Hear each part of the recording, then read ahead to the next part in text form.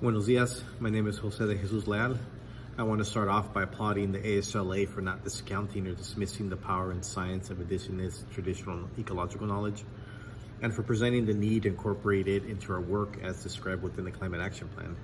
I'm grateful to have the opportunity to learn from a lot of indigenous people I have worked with in the past and I've come to understand that the gift of applying indigenous traditional ecological knowledge allows for the land, the plants, the animals, and other beings to prosper.